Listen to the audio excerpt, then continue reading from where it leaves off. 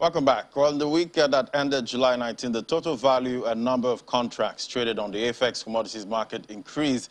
However, both the number of deals and the AFEX export index are closed in the red. For more now, let's uh, bring in uh, Michael Martin, portfolio manager at AFEX. Hello, Michael. Great to have you. I uh, hope you've had some ram. No, I haven't. My Muslim friends haven't come through, I swear. Same here. They haven't come through. same same here, Michael. That's same what we've here. been complaining about. Honestly, I mean, this, this holiday seems to be quite uh, different. You're, you're, not alone. I mean, we're not yeah. getting any round exactly. from our Muslim friends. Perhaps it's uh, the effect of that inflation. Exactly, I don't yeah. know. Yeah. Hmm. All right, well, it's a holiday. Uh, bring us up to speed with uh, market activities in the week under review.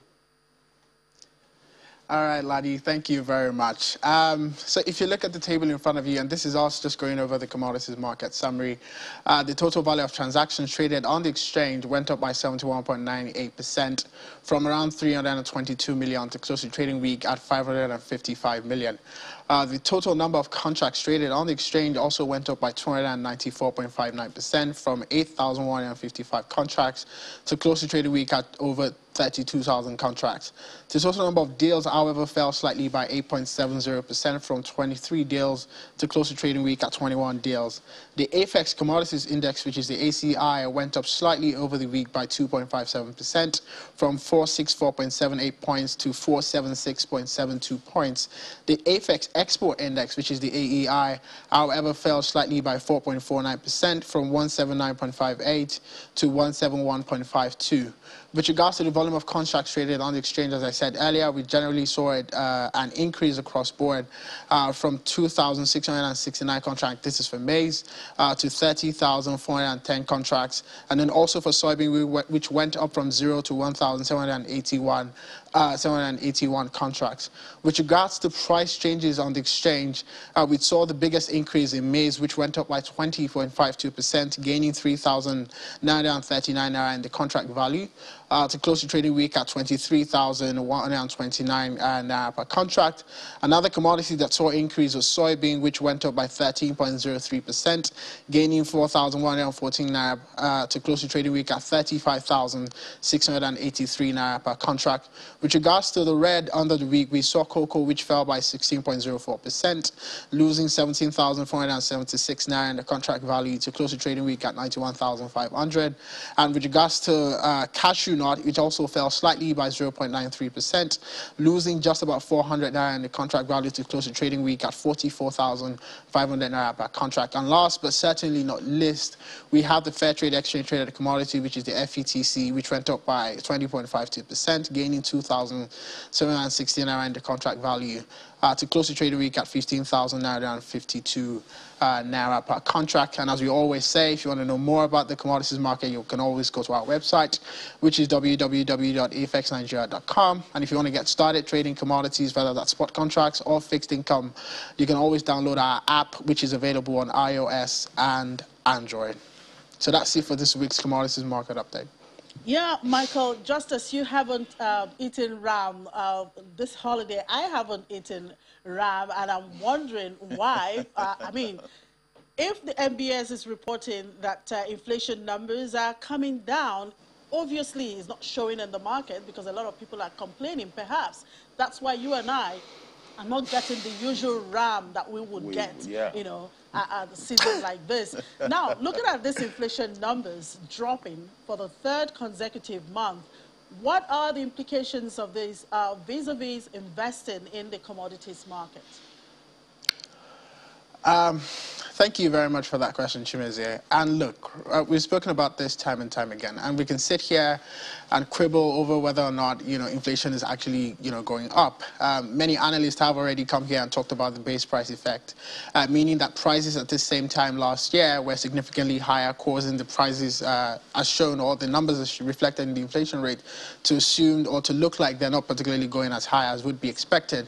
Uh, if you ask the average man on the street, I believe he has a completely different story. I very often buy groceries every other week, and I can tell you that prices have gone up, and they would essentially remain. And we all know that it's not everything that goes up that comes down. Prices don't tend to come down.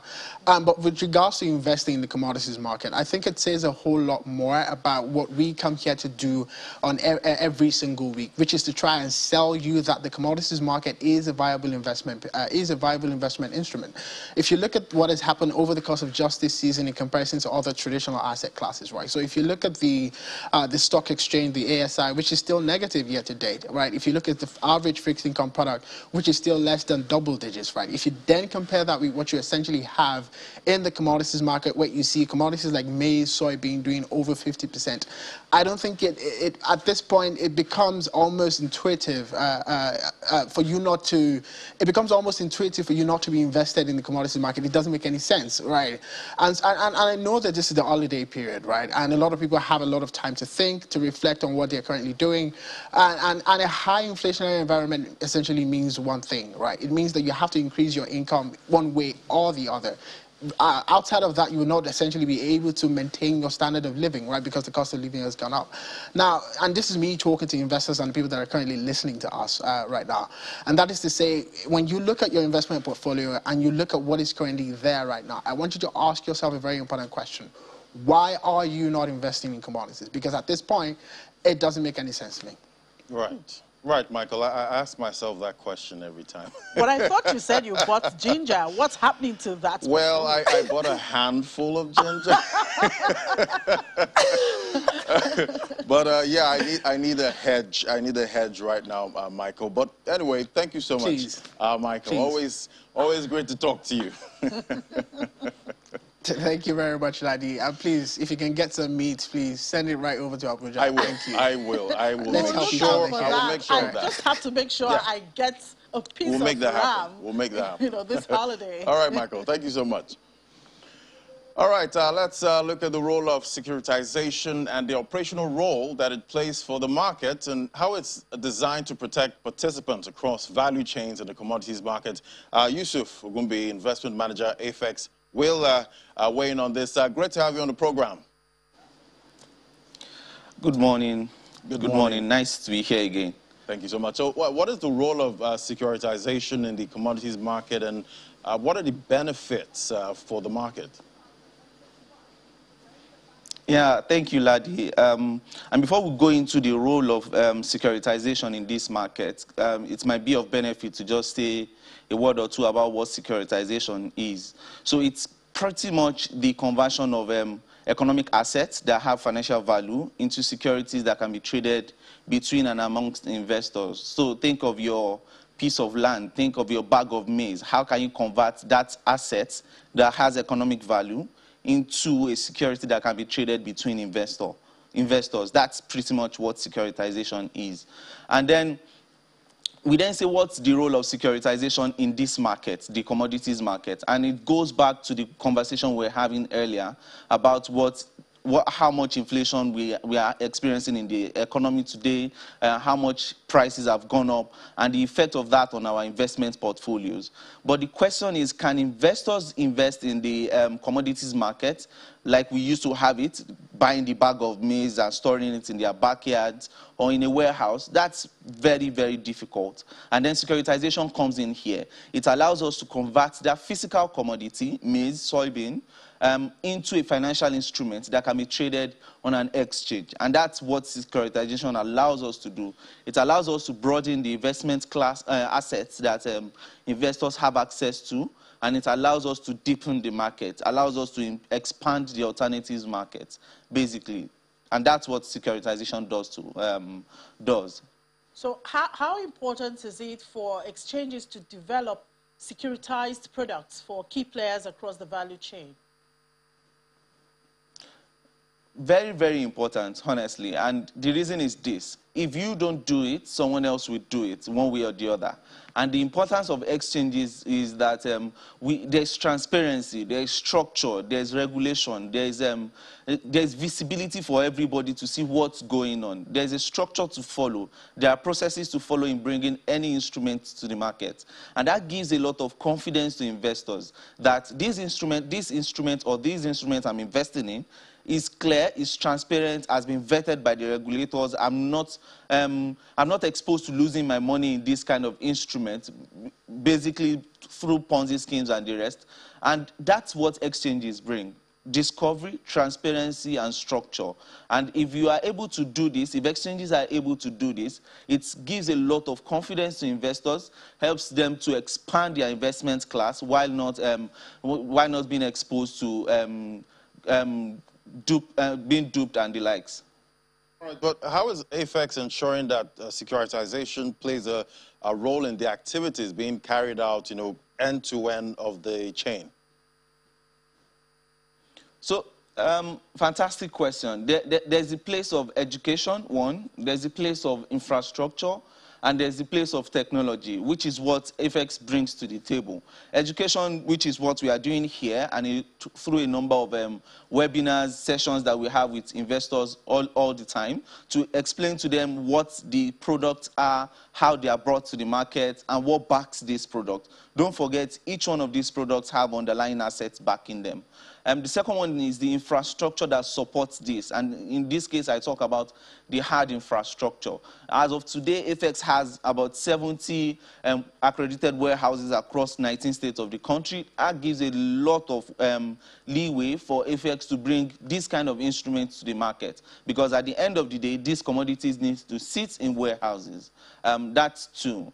The third one is technology. And over a number of times, we've talked about ComX, we've talked about the platform that investors can go to to visit, to have exposure to these instruments, buy them seamlessly. Um, then in the comfort of their houses, they are getting these instruments into their portfolios. And it's significant. Education, infrastructure, and technology. These are opportunities that, these are the ways, these are part of the ways that AFEX is working hard to bring these instruments to the market. So what are some of the products that AFEX have for investors to participate in? So as of today, there are a number of products on the exchange. Um, so we talked about the spot contract uh, where you have your maize, your ginger, your soybean, your cashew, and the likes. Um, we also have the exchange traded commodity, which is also on the exchange as of today these two products are more or less securitized products that brings that gives investors exposure to the um, commodities market. And as as we speak, uh, maize at least and soybeans have exceeded um, the 50% mark in terms of returns um, season to date. And we have a number of other commodities as well. The uh, exchange traded commodity has also done that. So that gives um, the opportunity for investors to invest in these products, spot contract and FETC, and uh, make fantastic returns over the course of the season. And not, don't forget, this is while being in the comfort of their houses, um, investing through ComX by AFEX. All right. Uh, also, uh, you know, what, what are some of these uh, products, you know, that uh, investors are actually looking at on AFEX? So investors, invest, investors are looking at a wide range of products. Uh, don't forget, we, aside the spot contracts, the exchange-traded commodities, we also have some other um, fixed income linked commodity products on the exchange. And investors have a very wide um, um, array of products to buy into. Uh, depending on the um, the risk appetite of that investors of that investor rather. If the investor is a very high risk um, investor, they go for the spot contract and it's high reward as well. Um, taking the risk of spot contract could have given you 50% um, year to date. And some other products that investors also think can help them achieve their return objective, but then with a lower risk um, um, with a lower risk profile. So it's it's a very wide range, and investors are looking at every, every instrument on the exchange, buying into them as at when they are available. All right. Well, we'll have to leave it there now. Thank you so much, uh, uh, Yusuf Ogumbi, Investment Manager at AFEX. Happy holidays. Happy holidays. Thank you very much. Thank you.